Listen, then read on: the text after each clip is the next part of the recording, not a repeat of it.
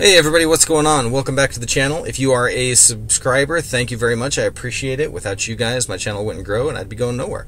If you are new to the channel, welcome. I hope you find what I do here interesting or informational or educational or at least, if none of those, at least entertaining. I hope you enjoy what, what you see here. So that being said, very quick video today. I just want to jump into a problem that I've been uh, informed of on some of my comments, and that is with my color scheme.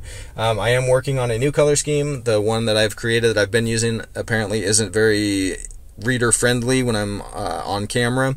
So I apologize for that because, well, if you guys can't read what I'm doing, you're probably switching away from my video. And if you're switching away from that video, you're probably not watching my other videos. And if you're not watching my other videos, then you're not subscribing, and then the whole world's falling apart.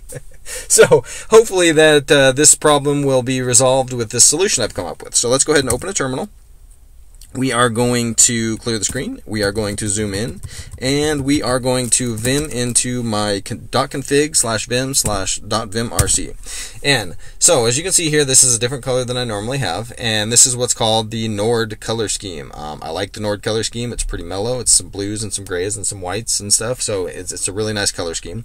Um, and hopefully it's a little easier to read on camera than my other color scheme was. So that being said, this isn't the only change. Let's go ahead and open another terminal terminal. Let's go ahead and use my mod space, which is going to change my layout because I'm in Herbstluft, and we're going to do max. But if I hit my mod tab, that'll cycle through, and you can see both windows are still open. But let's clear this screen. Let's zoom in, and now let's open my .local slash scripts slash windows.sh. And oh, what do we have here? We have Gruvbox. Why do we have Nord on one window and Gruvbox on another window? Well, fancy you should ask. Let's go take a look. If we hit my mod tab key, which will cycle back through to the other window open on this, um, and we scroll down here, you can see I have these six lines right here. What those do is auto command buff enter. Whenever I open Vim, it's going to check the buffer entering that I'm entering and it's going to look for what files open. If it doesn't see any file type or any file type that's not listed down here, it is going to open it in the color scheme of Jake, which is my personal color scheme that nobody likes. Um, excuse me. But auto command buff enter, if it enters that buffer and it sees it is a .rc file, like this one right here, my .vimrc, it is going to open in the color scheme Nord. This will work on .vimrc, .zshrc, .conkyrc. Excuse me, I'm so sorry. Um, so any .rc file, it will open up in this Nord color scheme. If it sees that the buffer is entering a .html file, it will open back up in that color scheme of Jake, which you might think the color scheme Jake is ugly, but the person right in front of you that you can't see because I'm not on camera, I'm just too beautiful to actually put on screen. That's why I'm not on there. But uh, you might not like the color scheme, but uh, you might get too too fond of me.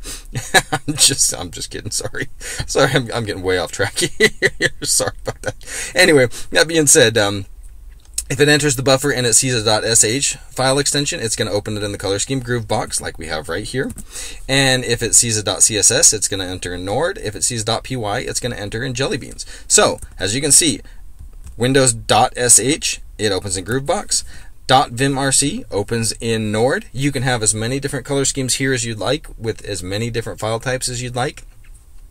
This is just a real easy way to kind of one help me out with you guys watching the videos and being able to see the color scheme a little easier and two just kind of make things a little more interesting uh, when you're when you're doing some coding and stuff. If you have a couple buffers open um, you can tell just by looking at the color scheme what type of file it's working on. It's easier things don't get as confusing but yeah.